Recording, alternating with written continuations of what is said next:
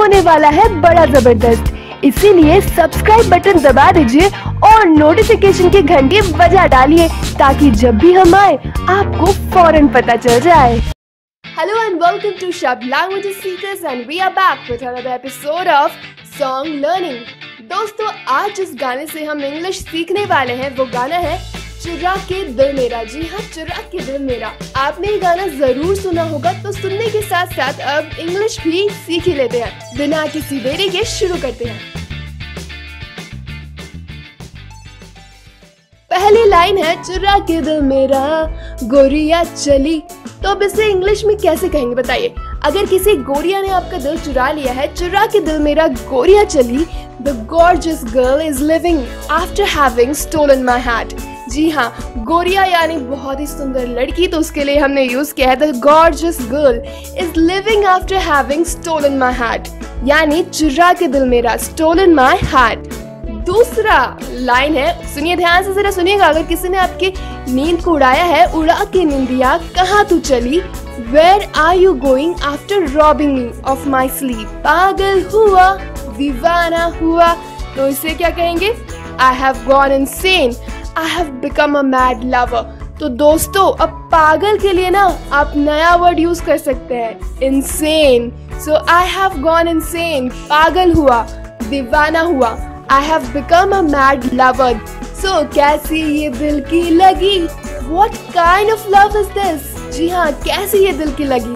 दिल की लगी यानी मोहब्बत. तो what kind of love is this अब ये लाइन लड़की गा रही है. चुरा के दिल तेरा, गोरिया चली। अब ये लाइन लड़की की लाइन है। अब गोरिया जा रही है तो वो थोड़ा सा बता रही है। तो इसको इंग्लिश में कहेंगे the sweet girl is departing after stealing your heart तो यहाँ पे द स्वीट गर्ल का मतलब गोरिया, और डिपार्ट का मतलब होता है चले जाना, और स्टील मतलब होता है चुराना। So the sweet girl is departing after stealing your heart मुझे क्या पता कहाँ मैं चली।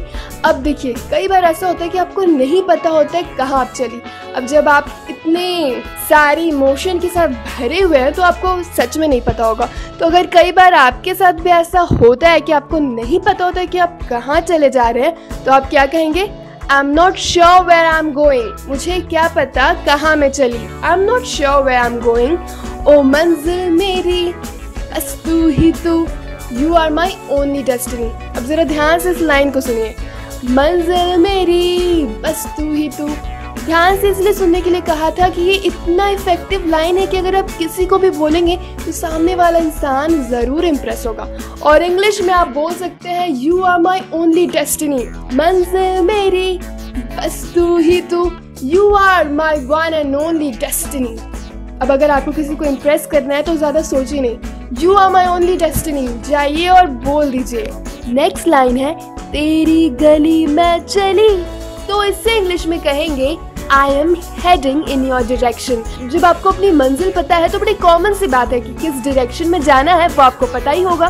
तो इसे इंग्लिश में कहेंगे I am heading in your direction और हेडिंग इसका मतलब होता है to move in the direction mentioned तो चुरा के मेरा, गोरिया चली।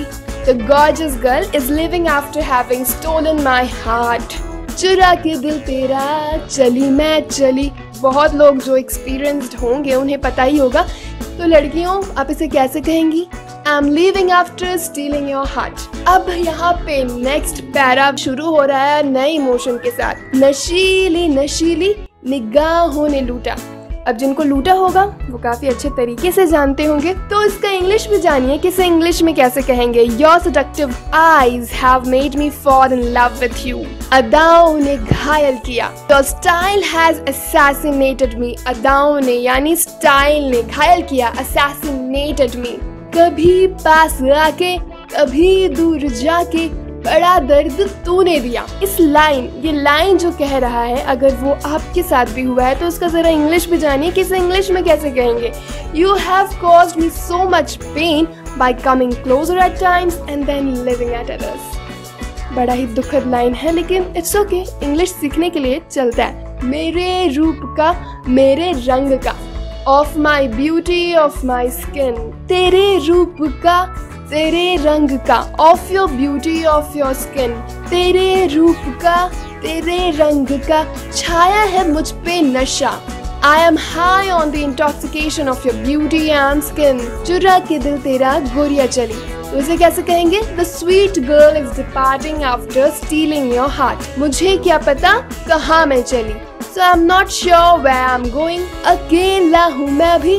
अकेली है, तू भी बड़ी दिल नशी रात है। तो दोस्तों, इसे कैसे कहेंगे? लाइन हिंदी में बड़ी बड़ी है, लेकिन इंग्लिश में इसे बड़े आराम से आप कह सकते हैं। You are alone I am alone and it's beautiful night तुझे मैं बता दू, मुझे तू बता दे, जो लब पे रुकी बात है।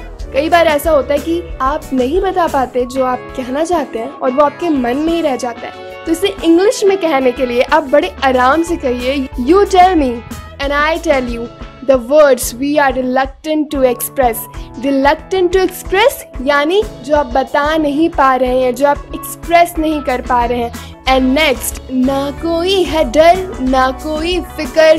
So there is no reason to be afraid और वरिड ओके सो ना कोई है डर, ना कोई फिकर। तो डर के लिए अफ्रेड और फिकर के लिए इंग्लिश में हम यूज़ करते हैं वरिड क्या यूज़ करते हैं? वरिड ना कोई है डर ना कोई फिकर। So there is no reason to be afraid or concern तो फिकर के लिए आपने दो वर्ड सीख लिए। वरिड और एक कंसर्न सो ना कोई डर, ना कोई फिकर। आने लगा है मज़ा। अब देखिए, जब आपको किसी चीज़ का ना डर होता है और ना ही किसी चीज़ का फिकर होता है तो लाइफ ना बड़ी मज़ेदार लगने लगती है। तो भाई इसे इंग्लिश में भी तो बोलना सीखना चाहिए हमें कि इसे कैसे बोले। There is no reason to be afraid or worried and it's becoming more enjoyable चिर्रा के दिल मेरा गोरिया चली। The gorgeous girl is leaving after having stolen my heart gorgeous girl यानी सुंदर लड़की स्टोलन चुराना। स्टील का पास्ट है स्टोलन उड़ा के निंदिया, कहाँ तू चली? Where are you going after robbing me of my sleep ओ मंजिल मेरी, बस तू ही तू। मैंने कहा था ना कि ये लाइन काफ़ी इम्प्रेसिव है। You are my one and only destiny चिरा के दिल मेरा गोरिया चली।